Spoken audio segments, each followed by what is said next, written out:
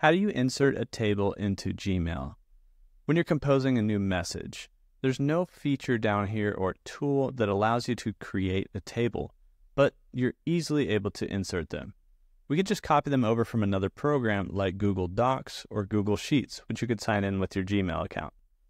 So if we were in Google Docs, then we can simply insert a table into Google Docs, or if you have one already created, that's just as easy.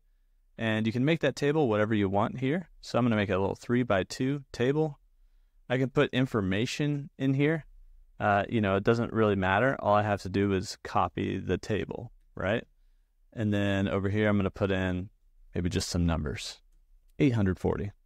And so you can style this however you want, right? Use all your options in here to adjust the the border width if you want, you know, make the borders a lot bolder, change the font, but you can't actually do some of that in Gmail as well. Now, as far as you know, the sizing of the table and the columns and stuff, that here you need to do in Docs. But when it comes to the text, you can still edit that in Gmail. So we're going to highlight the table and we can press Command or Control C or come up here to edit and copy this table. So we're basically going to copy paste it into our email.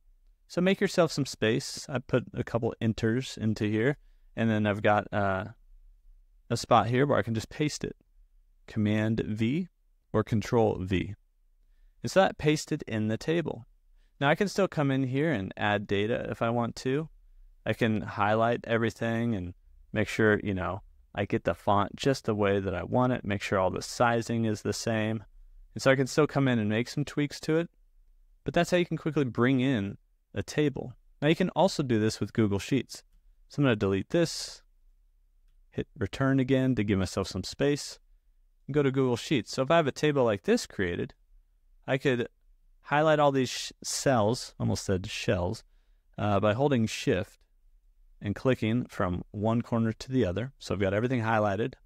I can do the same thing, Command or Control C, or go to Edit, Copy, come over here to my email, and paste it in here. I could even right click and say paste.